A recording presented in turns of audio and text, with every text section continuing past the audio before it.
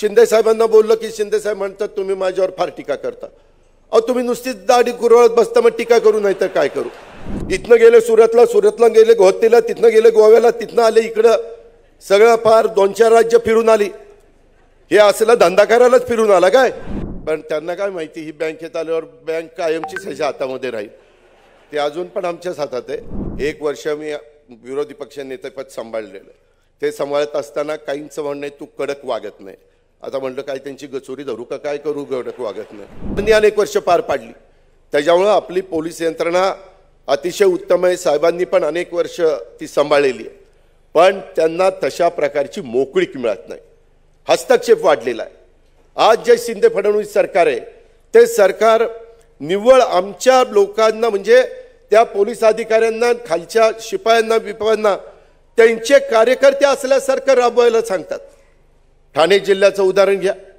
महाराष्ट्रातल्या इतर पण वेगवेगळ्या जिल्ह्यांचं उदाहरण घ्या.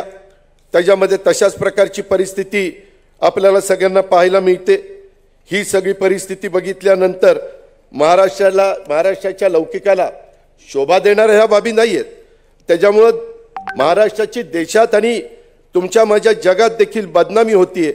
इथला सामाजिक सलोखा हा जाणीवपूर्वक त्या ठिकाणी बिघडवला जातो. ज्याचा उल्लेख मगाशी सुप्रियानी केला सावित्रीबाई फुले ते वे- वसतिगृह. मला अमोल मिटकरींनी सांगितलं मला वाटतं मरीन ड्राईव्ह पोलीस स्टेशनला ते होते. मी ताबडतोब गेलो त्यांच्या आईवडिलांना तिच्या भेटलो. काय झालं काय ज- नाही. परंतु ज्यांनी ते कृत्य केलेलं होतं ती विकृती आहे. परंतु ज्यांनी कृत्य केलेलं होतं त्यांनी पाठीमागच लोकलला आत्महत्या केलेली होती. परंतु जिथं अतिशय चांगल्या प्रकारे लोकांची वर्दळ असती सगळे चीफ जस्टिस आणि बाकीचे त्या भागातनं जातात. आम्ही लोक सगळेजण मंत्रालयात किंवा विधानभवनात जाताना जे कुणी आमदार खासदार मंत्री सगळे त्या भागातनं जातात. अशा पद्धतीचा वर्दळीचा भाग असताना देखील ही घटना घडती. त्याच्यानंतर धावत्या लोकलमध्ये विद्यार्थिनीबरोबर अत्याचाराची घटना घडती. ह्या घटना पुरोगामी विचारांच्या महाराष्ट्राला छेद देणाऱ्या आहेत तिच्या प्रतिमेला छेद देणार त्याच्यातनं काय हे सरकार करतंय शिंदेसाहेब काय करतात? शिंदेसाहेबांना बोललं की शिंदेसाहेब म्हणतात तुम्ही माझ्यावर फार टीका करता. अहो तुम्ही नुसतीच दाढी कुरवळत बसता मग टीका करू नाही तर काय करू? तुम्ही त्याच्या संदर्भामध्ये रिझल्ट द्या ना. मी तुमचं कौतुक करीन. किंवा खरंच असा मुख्यमंत्री कधी पाहिला नव्हता. परंतु दुसऱ्या भावनेतनं मला बोलावं लागतं की असा मुख्यमंत्री पहिला कधी झाला नव्हता. ही अवस्था आहे. मुंबईमध्ये लिव्ह इनमध्ये सोबत राहणाऱ्या एका महिलेचा खून केला जातो. तिच्या मृतदेहाचे विल्हेवाट लावण्यासाठी मृतदेहाचे तुकडे करून कुकरमध्ये शिजवले जातात. आणि ते मांस मिक्सरमध्ये बारीक करून ते बारीक केलेलं मांस जवळच्या गटारामध्ये फेकलं जातं. हे ऐकल्यानंतर अंगावर थरकाप येत नाही. सटकत नाही. राग येत नाही.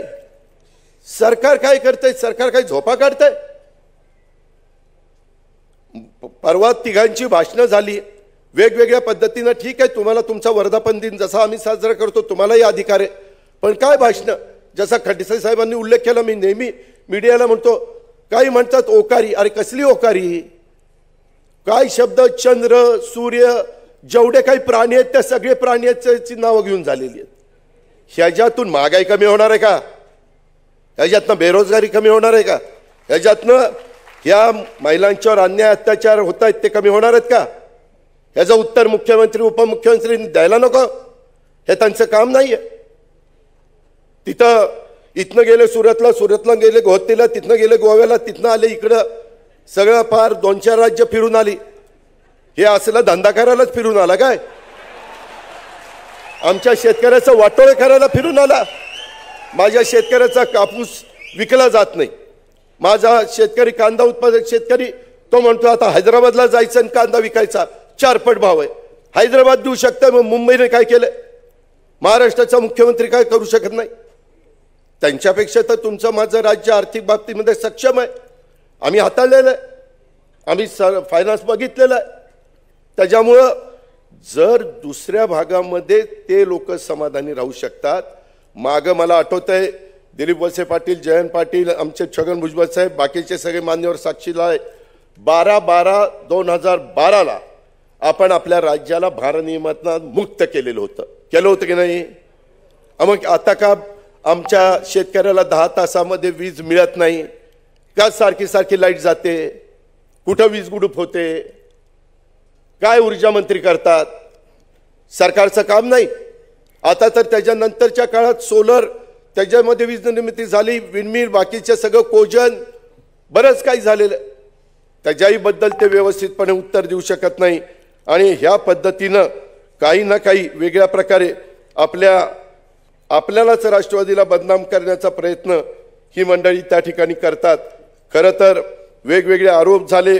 त्या आरोपामध्ये तसं बघितलं तर काही त- तथ्य निघालं नाही. परंतु त्याच्यातनं बदनामी सहन करण्याचं काम मात्र आपण केलं. आता मधलंच उदाहरण छत्रपती संभाजीनगरमध्ये आदरणीय पवारसाहेब गेलेले होते ते बोललेच नव्हते ते वक्तव्य समाज माध्यमांनी माध्यमांनी फिरवलं. आणि भाजपचा एक नेता या संबंधी चुकीचं ट्विट करतो महत्त्वाच्या चॅनलला बातमी दाखवली जाते खातरजमा पण तुम्ही करत नाही. आणि हा सुद्धा एक व्यापक कटाचा भाग नाही का? पवार साहेबांनी साहेबांच्यावर केलेला कोणताही प्रकारचा हल्ला हा अगदी शाब्दिकसुद्धा राष्ट्रवादी काँग्रेस पक्ष खपवून घेणार नाही हे पण निर्वाणीचा इशारा मी या निमित्तानं देतो. अरे खरं असेल तर बोला ना. उद्या चूक झाली तर आम्ही पण म्हणू आमच्याकडनं चूक झाली दिलगिरी व्यक्त करतो आणि पुढे जाऊ.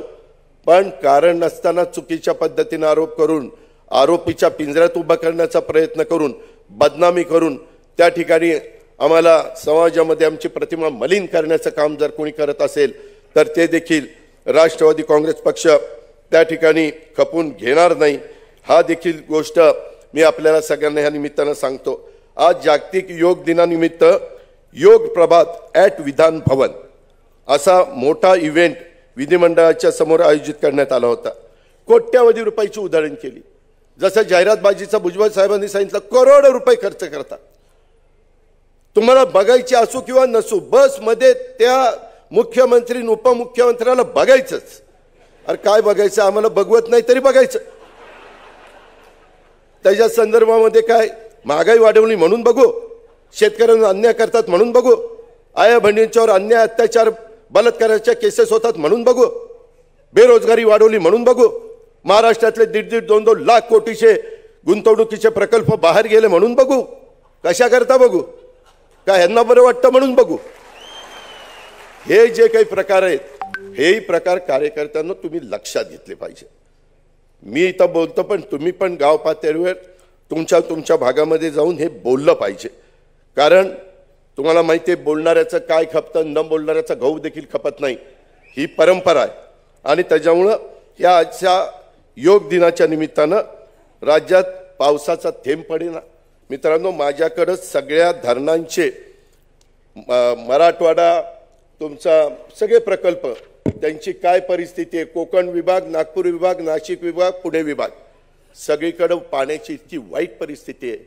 सरकारला याचं गांभीर्य नाही आहे आज पाण्याची बचत करावी लागते. काही काही ठिकाणचे कॅनॉल आता वर धरणात पाणी आल्याशिवाय सोडू शकत नाहीये. मुंबईची तीच अवस्था. वाचा तानसा वगैरे सगळी धरणं मुंबईतल्या अडचणीत आलेली आहेत. तरी देखील सरकारचं काम नाही. अजून पाऊस शेखर इथं बसला शेखरला विचारला चिपळूणला पाऊस सुरू झाला नाही. कोकणात पाऊस सुरू झाला नाही. पेरण्या जे शेतकऱ्यांचं प्रतिनिधित्व करतात त्यांना मला सांगायचंय जूनपर्यंत पेरण्या करू नका. सगळं हवामान एकंदरीतच सगळं पुढे ढकललं. सात मृग सात तारखेला मृग नक्षत्र निघतच नाही. हे सगळं जे पुढं ढकललं गेलेलं आहे त्याच्यातनं शेतकऱ्यांचं बियाण्याचं नुकसान होईल. एक तर बियाणं मिळत नाही खतं महागलीत. त्याच्यात वाटोळं केलं आपल्या सगळ्यांचं. आणि असं असताना आपल्या शेतकऱ्यांना पण त्याच्यातनं जागं करण्याचा प्रयत्न करा. आणि ह्या पद्धतीनं पाऊस पडल्यानंतर पेरण्या केल्या तर ते जास्त चांगल्या पद्धतीनं होईल. ही पण बाब आपण सगळ्यांनी ह्या निमित्तानं लक्षामध्ये घ्यावी. त्या योग दिनाच्या त्याच्यामध्ये मलाही बोलवलेलं होतं ते अंबादास दानवेला बोलवलं होतं आमचे नरहरी झिरवाळ साहेब तर इथंच आहेत. मी त्यांना म्हणलं का हो? मी तर गेलो नाही कारण म्हणलं तिथं जाण्यात काय अर्थ आहे? ह्यांचीच सगळं उदो उदो चाललेलं असणार. काय गेलं नाही नरहरी झिरवाळ ते म्हणले दादा पोट एवढं वाढलं की योगा होतच नाही माझ्याकडनं. आणि सगळ्यांच्या देखत पोट वाढलेलं असताना योगा नाही आला तर सगळे माझ्याकडेच बघतील म्हणले. पठ्या खरं बोलला. म्हणजे म्हणलं योगा होत नाही पण बायकोला इथं घेऊन नाचू शकतोय. वा पठ्या तुमच्यातला कोणी तुमच्या बायकोला घेऊन नाचू शकतो का? तुमची बायको तुम्हाला घेऊन नाचेल पण तुम्ही नाही नाचू शकत. मित्रांनो गमतीचा भाग जाऊ द्या. परंतु ह्या सगळ्या गोष्टी आहेत. माझी आपल्याला सगळ्यांना विनंती आहे की एकंदरीतच ह्या सगळ्या कामामध्ये आपण महापुरुषांच्यावर अन्याय अत्याचार सगळे भुजबळ साहेबांनी सांगितलं म्हणून तो उल्लेख मी त्या ठिकाणी करत नाही. परंतु सत्याऐंशी साली मी बारामती तालुक्यामध्ये बसायला सुरुवात केली. एक्क्याण्णवला राज राजीव गांधींनी पवारसाहेबांनी मला खासदारकीचं तिकीट दिलं. मी खासदार झालो. सहा महिने तिकडचं बघितल्यानंतर म्हणलं हे आपलं ख काम नाही आपलं चरा महाराष्ट्रात. सुप्रियाला म्हणले तुझंच काम आहे तू बघ पुढं काय करायचं ते. आणि त्या पद्धतीनं ती तिकडं बघायला लागली मी इकडं बघायला लागलो. आजपर्यंत मला राज्यमंत्री मंत्री उपमुख्यमंत्री विरोधी पक्ष नेते विरोधी पक्षाचा आमदार पवारसाहेब मुख्यमंत्री असताना आमदार सगळ्या प्रकारची पदं मी भूषवली. त्याच्यामध्ये मित्रांनो ही संघटना शेवटी मजबूत असेल तर सगळ्या गोष्टी होतात.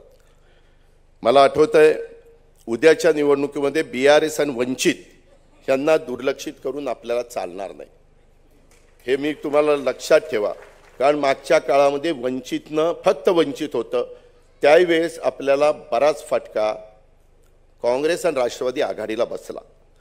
जे काठावर आपले पाच सात हजार दहा हजारात आमदार निवडून येतात ते अडचणीत येतात. खासदार अडचणीत आले. आता माझा अंदाज आहे तिथं एक कार्यक्रम होता त्या कार्यक्रमाला प्रकाश आंबेडकर साहेबांना ह्यांनी तेलंगणाच्या मुख्यमंत्र्यांनी बोलवलं होतं. आणि त्यांच्या राज्यात जेवढं लक्ष नाही त्याच्यापेक्षा जास्त लक्ष त्यांचं आपल्या राज्यात आहे. कुणालाही फोन करतात कुणालाही संपर्क साधतात आजी माजी आमदार असतील कुणी मंत्री असतील सगळ्यांना. हे जे काही चाललेलं आहे. निवडणुकीमध्ये वातावरण किती आपण चांगलं करण्याचा प्रयत्न केला तर हे बारकावे पण आपण लक्षामध्ये घेतले पाहिजे. समविचारी मतांची म- विभागणी झाली तर त्याच्यामध्ये अडचण येते म्हणून आपण सगळ्यांनी काळजी घेतली पाहिजे. जसा उल्लेख सुप्रियांनी केला ज्याच्याकरता जयंत पाटील सातत्याने बूथ कमिट्या बूथ कमिट्या अनिल भाईदासनी आता त्याच्यामध्ये चांगलं लक्ष घातलंय असं सगळ्यांनी केलं पाहिजे. जिथं आपला आमदार नाही जो मतदारसंघ आपण लढणार आहे तिथंही केलं पाहिजे. मित्रांनो नेत्यांनी येऊन किती भाषणं केली काही सांगितलं तरी देखील जोपर्यंत तिथं हाडाचा कार्यकर्ता बूथवर मतदान करण्याला तिथं मजबूतीनं उभा राहत नाही पक्षाकरता एक तास ती एक गोष्ट त्याच्यातनं खूप फरक पडतो मी बघितलेलं आहे. आम्ही दीड दीड लाख पावणे दोन लाखांनी निवडून येतो. त्याचं कारण बूथ कमिटी आहे. त्याचं कारण प्रत्येक बूथवर पंचवीस तीस आपले चांगले मजबूत सहकार्य काही काही ठिकाणी आपण सगळ्या जागा लढवल्या तर नगरसेवकाला मतं मिळतात तेवढी देखील आपल्या उमेदवारांना काही भागात मतं मिळाली नाही. ही आपली शोकांतिका आहे. त्याच्याकरता आज आता बाकीच्या तीन मान्यवरांची भाषणं झाल्यावर माझी तुम्हाला विनंती आहे की हा पण एक व्यवस्थितपणे विचार करून तुम्ही आपापल्या घरी जावा.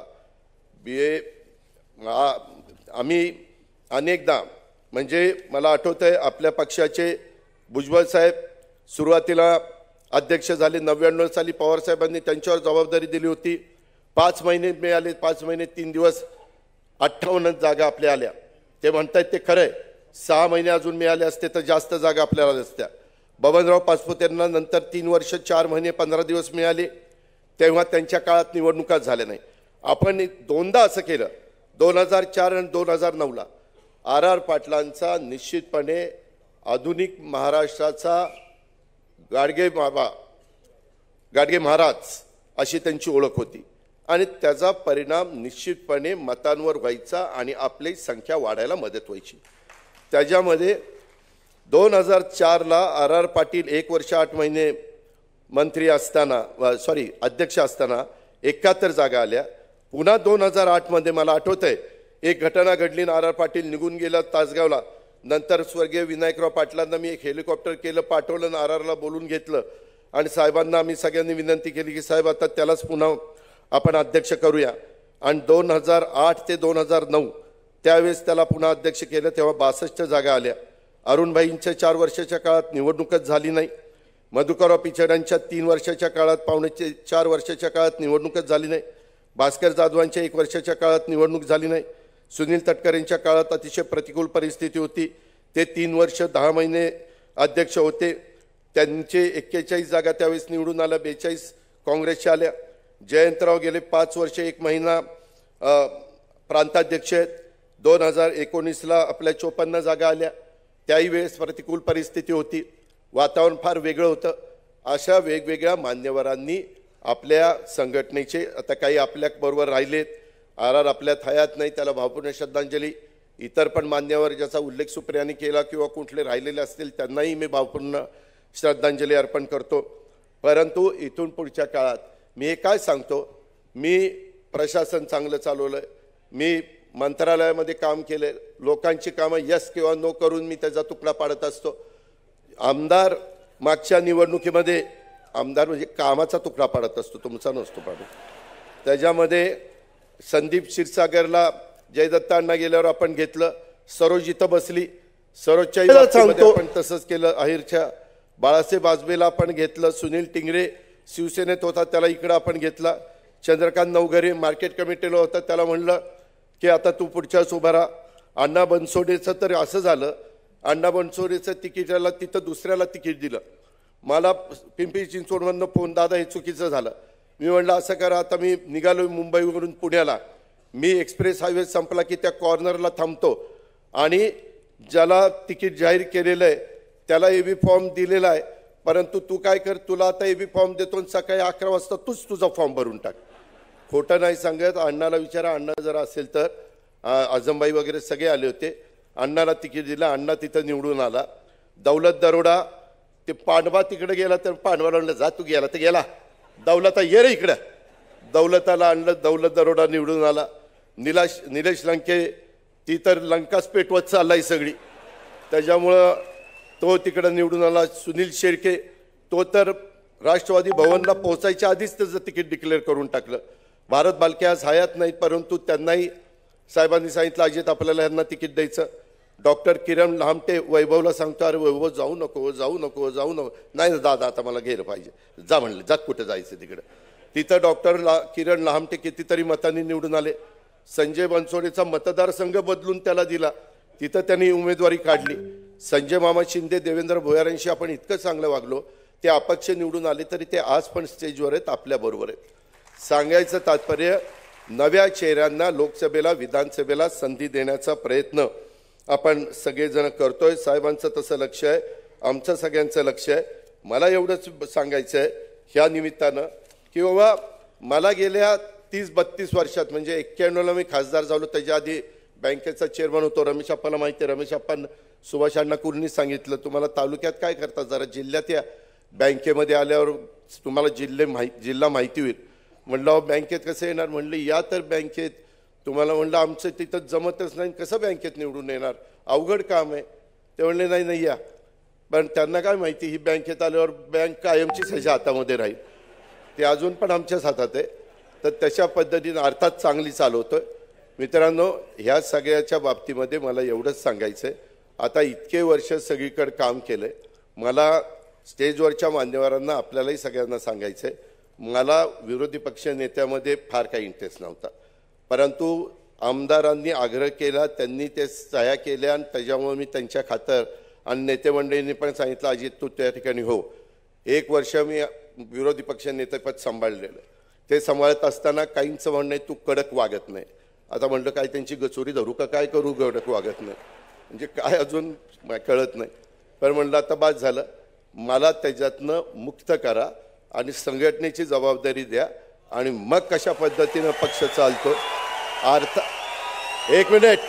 अर्थात हा अधिकार हा नेते मंडळींचा आहे पण माझी इच्छा आहे. बाकीचे वेगवेगळे इच्छा प्रदर्शित करतात. आजपर्यंत पक्षाने जी जबाबदारी दिली ती जबाबदारी मी पार पाडलेली आहे. थोडं संघटनेत कुठलंही पद द्या. काय खज कसलंही पद तुम्हाला जे योग्य वाटेल ते द्या. त्या पदाला न्याय दाखवून देईल एवढा शब्द देतो थांबतो. जय हिंद जय महाराज